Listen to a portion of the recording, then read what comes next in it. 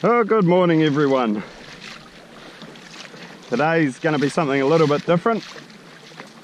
Um, we're heading out to a kingfish pin and uh, we're going to do some jigging for some kingfish. But I've got uh, Chase here with me and he's never caught a kingfish before, whether it be from a boat or a kayak. So um, today's sort of going to be a bit about a, a say, let's say a, a beginner's introduction to kingfishing. So we're going to go through uh, jigging today. Okay, so we've made it out to our kingy spot now. Um, we're going to get Chase here set up, run through him how to jig, and um, we'll uh, then try and find some fish. We're sort of not really showing any fish on our sounder at the moment, but um, we'll get him set up with a jig. He's going to borrow my uh, lighter jigging set, um, and we'll get him set up with a jig and show him how to how to uh, how to jig. Okay, so what you're going to do, you're going to find the sign, you're going to drop your jig, and um, you're pretty much going to drop it all the way to the bottom. Yep. Uh, depending on if you if the sign's really high and you see it following the jig down on your sounder, you can um, not drop all the way to the bottom, but um, yeah, just basically you're going to let it out. When it hits the bottom, or when you get far enough down, uh, you just push the drag lever up to strike. We'll just check that that's that's plenty of drag. Yep. Okay. And um, now what you're going to do is you're going to lift and then wind, lift, wind, lift, wind.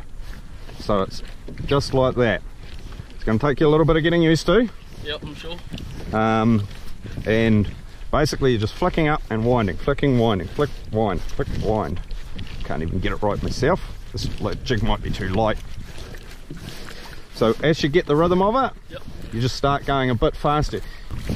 Okay, when you hook up, it's going to go and like tear off. Yep. Um, when you're fighting your fish, you don't lift any higher than that with your rod Yep. because your rod's going to be bent right down here. Okay, don't want you to lift any higher than that. You just lift up there, get a wind, get a wind. Okay, if you start lifting way up here, Yep. you're going to break this rod, Yeah. and it's not cheap. No. Um, so, um, yeah, don't lift up too high. Yep. I'll hand this over to you. Um, when you're moving too, just clip the wrap the jig into this jig wrap. Yep. Um, but I'll hand this over to you. Get it clipped in. Get yourself clipped in somewhere. So if it goes overboard, just clip it onto your seat there or something. Okay, and just drop it over the side, drop them down, and we'll just have a look at see how you go.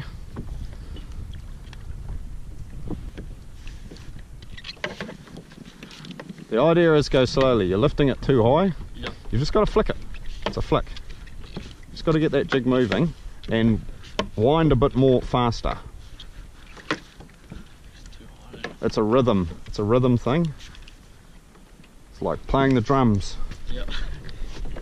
Got to get the rhythm right. Okay. I'm gonna get comfortable carrying it. Yep. Yep. There's no panic. You know, you've got all day to learn this. And you will learn it. It's his first fish. He's been jigging maybe 15 minutes now. And he's into it. What do you reckon? Yeah, fucking good. There's a big one. Couldn't tell you. First kayak kingfish, first ever kingfish. And uh, he's into it. Oh, nice. okay, well, it's a legal fish. It's not. It's not a very big fish, um, but he's legal. Yep. Was legal kingy. First legal kingy. Awesome. Oh, this side. This side. Let him go this side. Yep. That's it. Yeah. Well, good morning, everyone. Yesterday was a bit of a stuff up. We went out. We pedaled for Ks and Ks. And uh, Chase did manage to get his first couple of kingfish jigging. But um, the kingies just weren't really at the spot. And um, after putting his first kingfish back, which would have been well legal, we didn't get another legal one for him. So um, it was a bit of a stuff up. So we're going to a spot that's known to perform. So we're going to see what happens. Okay, so we've made it out here now. We're both hooked up. I've just got my one to the kayak. He's a probably a 10 kilo sort of a fish, 9 or 10 kilo. Oh, nice little fish. And uh, oh, he's also pretty feisty. And uh, Chase is still trying to grab, get his one up. That's what we came for. Oh, a nice healthy kingy. He's in good shape too by the look of him. Not very big. In fact, he's probably smaller than I thought. He's probably only eight kilos, but he fought hard. He's in good shape and he deserves to live, so we're gonna put him back. Woo! Yeah. Now you rod holder, drag him into your lap. Grab the jig. What they do is they'll use the jig as a bit of a missile.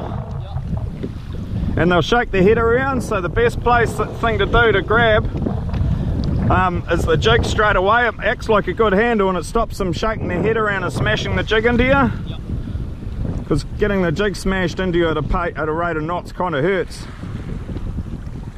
Oh look at that. Yeah okay let her go. Oh yeah mean First kingy of the day, we're going to get more. We're going to do better today than what we did yesterday.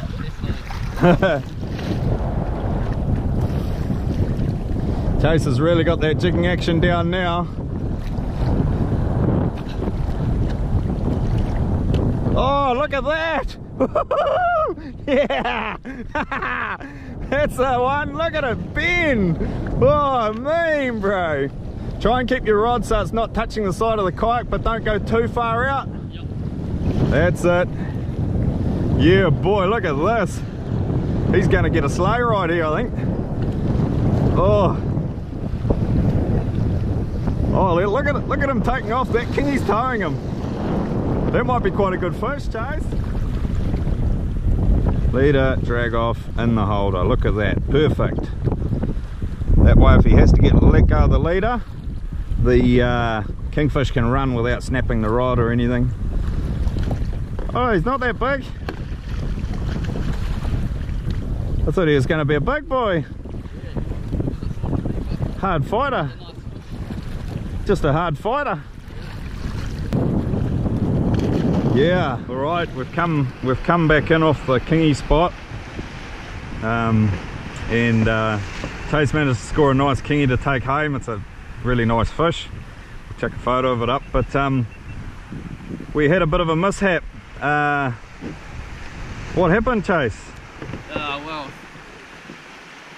Icky the fish went to go chuck the uh, fish into the chilly bin got to a certain point where my balance was off and managed to tip the whole kayak over Oh, that was um, pretty interesting, wasn't it?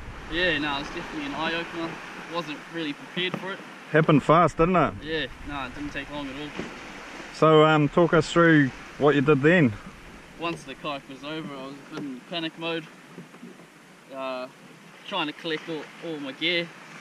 Luckily managed to grab my phone and keys and the kingy that I lost that was floating about. But um, yeah, nah, you, you just talk talk me through what I should be doing and after a couple of attempts of trying to flip the kayak, Kerry just said dive under and flip and twist pretty much, which I managed to do. Flip that out. Uh, managed to jump back on the kayak. So, so um, what's the damage? Oh, I lost lost a soft baiting rod, rod and reel, uh, my battery for the fish finder, yeah, no. That's about it, I think. You, you were pretty lucky uh, not to lose a bit more gear. What what lessons do you think you've learned? Uh, definitely rod leash is a big, big thing to have, pay to have. Um, yeah, having everything tied down, um, making sure that everything's yeah sealed, having your keys and your phone in a bag. Uh, no.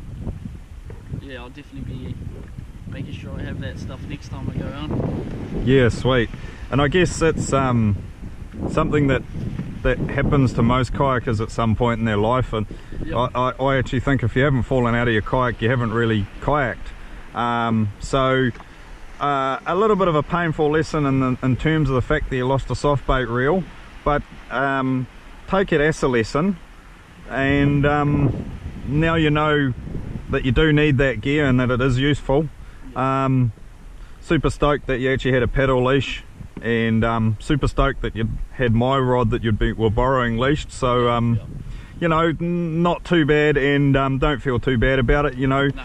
I, I guarantee you that every every kayak fisherman who's done a bit of kayak fishing's done it at some point or another Yep, no, no doubt. I'm just glad that, you know, yeah, it's over and done with. I'm kind of prepared for the next time it happens. Awesome. Awesome. Yeah, nah. oh good on you man. You got a good attitude